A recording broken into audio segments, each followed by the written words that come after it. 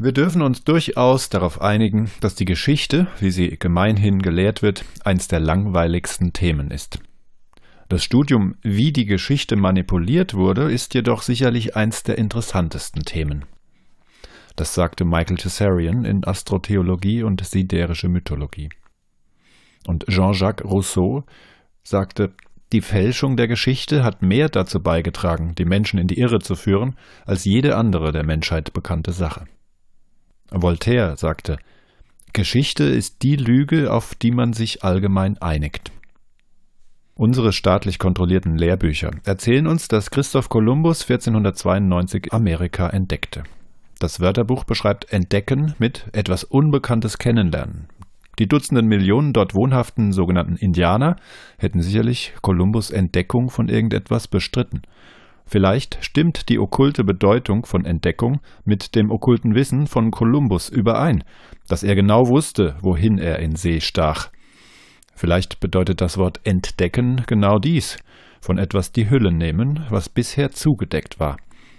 David Icke schrieb in Das größte Geheimnis Die Phönizier waren nicht auf das Mittelmeer und Vorderasien beschränkt. Sie landeten in Britannien um 3000 vor der Zeitenwende und eindeutige phönizische Artefakte wurden im heutigen Brasilien gefunden, sowie mögliche ägyptische Überbleibsel im nordamerikanischen Grand Canyon. Die Phönizier landeten tausende Jahre vor der Überfahrt von Christoph Kolumbus in Nord- und Südamerika. Der Grund, warum die Sagen der Eingeborenen von beiden Amerikas von großen weißen Göttern erzählen, welche vom Meer her kamen und fortschrittliches Wissen mit sich brachten, ist der, dass dies genau das war, was passiert ist, wenn man das mit den Göttern weglässt. Wenn Kritiker die Bedenken äußerten, dass Kolumbus Überfahrt unmöglich sei, entgegnete er oft auf diese Einwände, dass er, Zitat, einige sehr lohnende Inseln oder einen Kontinent 750 Wegstunden, gleich 3623 Kilometer, im Westen entdecken könnte. Zitat Ende. An diesem Punkt wären die Schiffe in der Lage, wieder Proviant zu laden und nach Asien weiter zu segeln. Dann erblickte und entdeckte Kolumbus einen sehr lohnenden Kontinent genau 750 Wegstunden im Westen. Alex Christopher schrieb in Die Kiste der Pandora, die höchst verborgene Hand hinter der neuen Weltordnung, bei den am 17.04.1492 das Capitulo und am 30.04.1492 das Titulo unterzeichneten Vereinbarungen ist eine merkwürdige Begebenheit, dass der Herrschaft und der Rechtsprechung für die möglicherweise bei der Überfahrt zu entdeckenden Ländereien mehr Aufmerksamkeit geschenkt wurde als einer Regelung der Aufteilung der Kriegsbeute des wohlhabenden Asiens. Zitat Ende. In der Rosslyn-Kapelle des Templerordens in Schottland gibt es deutliche Abbildungen von Mais und dem Aloe-Kaktus, die auf den Torbögen und der Decke angebracht wurden. Diese Gewächse wurden offiziell erst im 16. Jahrhundert in Amerika entdeckt und nach Europa gebracht. Wie haben denn dann die Freimaurer, welche die Rosslyn-Kapelle im Jahre 1486 fertiggestellt haben, von diesen Pflanzen gewusst? Sechs Jahre bevor Kolumbus in See stach. Nochmal David Icke. Die offizielle Version, dass Christoph Kolumbus Amerika entdeckte, ist grotesk. Einige Meilen von Edinburgh in Schottland entfernt steht heute noch die Roslin-Kapelle, dieser heilige Gral der Geheimgesellschaften. Sie wurde von der St. Clair oder Sinclair-Familie in der Gestalt eines Templerkreuzes errichtet und strotzt vor esoterischer Symbolik. Der Grundstein wurde 1446 gelegt und sie wurde in den 1480er Jahren vollendet. Wie bemerkenswert dann, dass die Steinarbeiten in Roslin Abbildungen von Zuckermais und Kakteen zeigen, welche man nur in Amerika vorfand und Christoph Kolumbus diesen Kontinent nicht vor 1492 entdeckte. Wie konnte das sein? Es gibt tatsächlich kein Rätsel diesbezüglich. Christoph Kolumbus war nicht einmal annähernd der erste weiße Mensch, welcher in Amerika landete. Die Phönizier, Nordmänner, Iren, Waliser, Bretonen, Basken und Portugiesen segelten alle vor ihm hin und ebenso tat Prinz Henry Sinclair von Roslin dies, wie dies in einem seltenen Buch von Frederik I. Polen namens Prince Henry Sinclairs Überfahrt zur neuen Welt 1398 aufgezeichnet wurde. Sinclair machte die Schiffsreise mit einer anderen Familie der Blutlinien, die Zenos, einer der bekanntesten okkulten Adelsfamilien in Venedig. Sinclair und Antonio Zeno landeten im heutigen kanadischen Neufundland und gingen im heutigen Nova Scotia 1398 an Land. Den Geheimgesellschaften sind die Amerikas seit tausenden Jahren bekannt und Christoph Kolumbus wurde benutzt, um die offizielle Entdeckung zu machen, damit die Besetzung Amerikas beginnen konnte. Zitat Ende. Kolumbus wurde von den europäischen Königshäusern und den Templern unterstützt. Sein Schwiegervater war ein früherer Ritter des Templerordens und Katharina de Medici von der Illuminati-Blutlinie mit einigen anderen finanzierte seine Reise. Seine drei Schiffe segelten unter der Flagge mit dem Roten Kreuz der Templer. Die Königsfamilie von Spanien sendete ebenfalls Flotten von Eroberern und verwegenen Piraten unter der Totenkopfflagge aus. Sie hatten Befehl, so viel von der neuen Welt zu vergewaltigen, morden und plündern, wie sie konnten. Michael Tessarian sagte auf einer Lesung auf der Conspiracy Convention 2003 mit dem Titel Die zersetzende Verwendung von heiliger Symbolik in den Medien, die von der Geheimgesellschaft Skull and Bones, eine geheime Studentenverbindung an der Yale-Universität, Mitglieder unter anderem Ronald Reagan, George Bush, John Kerry, verwendete Symbolik kommt von der Totenkopfflagge der Piraten. Sie waren kein Haufen von Haudegen, wie dies in den Piratenfilmen gezeigt wird. Nein, sie waren vom britischen Königshaus Gesandte auf hoher See, um Amerika zu kolonisieren. Zitat Ende. Das Wappen der Kolumbusritter ist das Fascis, das faschistische Symbol. Es ist eine durch Ruten gebündelte Axt, die Macht der vielen, wenn durch ein gemeinsames Ideal verpflichtet, darstellend. Erstaunlicherweise findet man dieses Rutenbündel beim US-Senat, dem Siegel des US-Bundesstaates Colorado, dem Lincoln Monument in Washington, dem 10-Cent-Stück der USA und vielen weiteren Plätzen. Die Kolumbusritter schienen eine philanthropische Bruderschaft zu sein, also warum diese Symbolik? Vielleicht wird die verborgene Geschichte ihres Namensgebers Christoph Kolumbus Licht darauf werfen. David Icke nochmal. Das offensichtlichste Symbol der Absicht der Geheimgesellschaften ist das Fascis, von dem man das Wort Faschismus ableitet. Man kann es auf vielen Symbolen der USA sehen und im Kongressgebäude. Es war ein vom Römischen Reich verwendetes Symbol und es besteht aus gebündelten Ruten um eine Axt. Die Symbolik bedeutet ein Volk oder ein Land vereinigt unter einer gemeinsamen zentralen Diktatur der Axt. Als Kolumbus das erste Mal an Land ging, wurde er von den Arawak-Indianern mit Freundlichkeit, Geschenken und Essen begrüßt. Er schrieb in sein Tagebuch, sie brachten uns Papageien und Ballen von Baumwolle und Speere und viele weitere Dinge. Sie gaben bereitwillig alles, was sie hatten. Sie tragen keine Waffen und sie kennen sie nicht. Denn ich zeigte ihnen ein Schwert und sie fassten es an der Scheide an und schnitten sich dabei aus Unwissenheit. Sie haben kein Essen. Ihre Speere sind aus Schilf gemacht. Sie würden hervorragende Untertanen abgeben. Mit fünfzig Mann könnten wir sie alle unterwerfen und sie dazu zwingen, alles zu tun, was wir wollen. Das war aus Howard Zinn, die Geschichte der Menschen der Vereinigten Staaten. Von Anfang an schrieb Kolumbus über die Niederwerfung und Versklavung der Eingeborenen. Währenddessen brachten die Arawaks Geschenke, bereiteten Essen und handelten mit allem, was sie besaßen. Kolumbus schrieb, dass die Eingeborenen so kindisch und freigiebig mit ihren Besitztümern sind, dass es niemand glauben würde, der es nicht selbst erlebt hat. Wenn man sie nach etwas fragt, was sie haben, sagen sie nie Nein. Im Gegenteil, sie bieten alles, was sie haben, jedem an.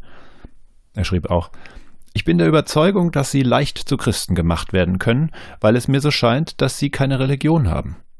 Die europäischen Siedler nahmen eine freie Gesellschaft ohne Besitz, Eigentum, Währung, Hierarchie oder festgelegter Religion und ersetzten sie durch das heutige Amerika, der Welt strahlendes Leuchtfeuer eigennützigem Materialismus, in dem jeder Quadratzentimeter Land, Wasser, Luftraum staatlicher oder privater Besitz ist, durch ein korruptes hierarchisches System und Bestimmungen besteuert und beherrscht wird wo die Gaben von Mutter Natur als käufliche, verkäufliche, zu besitzende und zu verteidigende Sache behandelt wird. Howard Zinn schrieb in Die Geschichte der Menschen der Vereinigten Staaten weiter Kolumbus notierte, sobald ich in der Karibik ankam, nahm ich auf der ersten Insel, die ich fand, einige der Eingeborenen gefangen, damit sie Bescheid wissen und mir Informationen darüber geben, was es alles auf der Insel gibt. Die Informationen, die Kolumbus am meisten wollte, war, wo ist das Gold? Seiner zweiten Expedition wurden 17 Schiffe mitgegeben und mehr als 1200 Mann. Das Ziel war klar. Sklaven und Gold. Sie segelten in der Karibik von Insel zu Insel, nahmen Indianer als Gefangene, durchstriffen die Inseln, schauten nach Gold und nahmen Frauen und Kinder als Sklaven für Sex und Arbeit. Helen Erlerbe schrieb in Die dunkle Seite der christlichen Geschichte Es war Kolumbus geschworenes Ziel, die Indianer zum heiligen Glauben zu bekehren, was zur Versklavung und Verschleppung von tausenden Eingeborenen berechtigte.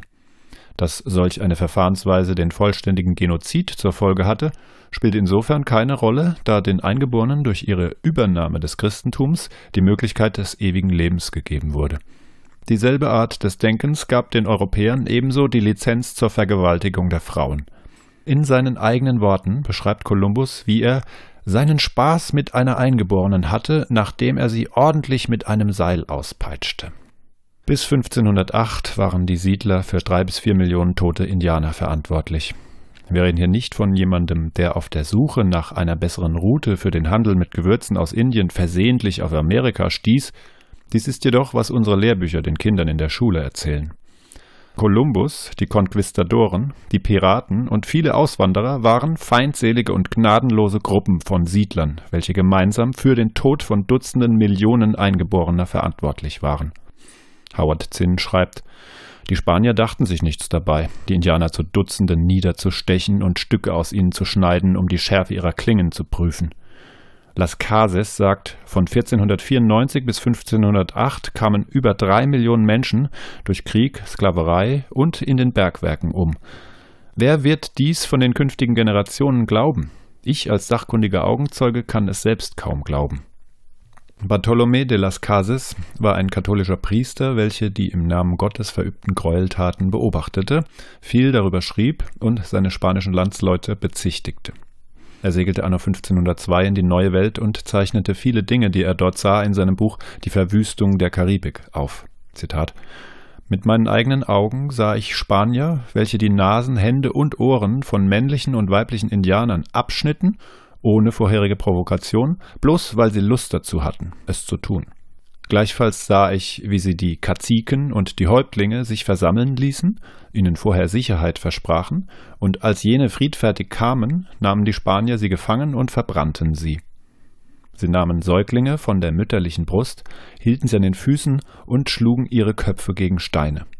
Sie bauten einen langen Galgen, hoch genug, dass die Zehen gerade so den Boden berührten und ein Hängen verhinderten und hingen zur Ehre von Christus, unseres Erlösers und seinen zwölf Aposteln, dreizehn Indianer gleichzeitig auf. Dann wurde Stroh um ihre gestreckten Körper gebunden und sie wurden lebendig verbrannt. Als die Spanier eine große Menge an Gold von den Indianern gesammelt hatten, schlossen sie die Eingeborenen in drei große Häuser, packten so viele es geht dort hinein, setzten dann die Häuser in Flammen und verbrannten alle, die darin waren, obwohl die Indianer keinen Anlass dafür gaben und keinerlei Widerstand leisteten. Sie schnitten den Indianern die Hände ab und ließen sie an den Hautfetzeln baumeln. Sie prüften ihre Schwerter und ihre Körperkraft an gefangen genommenen Indianern und schlossen Wetten ab, ob sie es schaffen, den Kopf oder den Körper mit einem Hieb abzuschlagen bzw. durchzutrennen. Auf jeder Insel, die Kolumbus entdeckte, pflanzte er ein Kreuz, den Besitz seiner spanischen katholischen Auftraggeber beanspruchend. Er verlas Erklärungen von gottgebendem Recht auf das Land in einer Sprache, welche die Indianer nicht verstehen konnten. Ich erkläre euch hiermit, dass wir mit der Hilfe Gottes machtvoll in euer Land eindringen und Krieg gegen euch führen werden und euch unter das Joch und den Gehorsam der Kirche bringen werden und über euch alles Verderben bringen werden, solltet ihr den Herrn nicht als euren Gott anerkennen und widersprechen und Widerstand leisten. Das war aus D. Stannards Amerikanischer Genozid. Vielleicht kannst du nachvollziehen, warum das Wort Kretin von Christ abgeleitet wird. Der Häuptling Hatuey wurde gefangen genommen und bei lebendigem Leib verbrannt.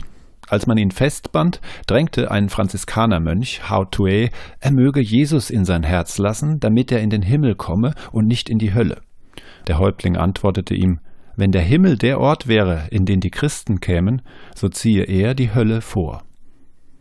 John Mohawk schrieb, Christoph Kolumbus ist ein Symbol, nicht von einem Menschen, sondern vom Imperialismus. Imperialismus und Kolonialismus sind nicht etwas, was Jahrzehnte oder Generationen her geschah, sondern mit der Ausbeutung von Menschen immer noch geschieht.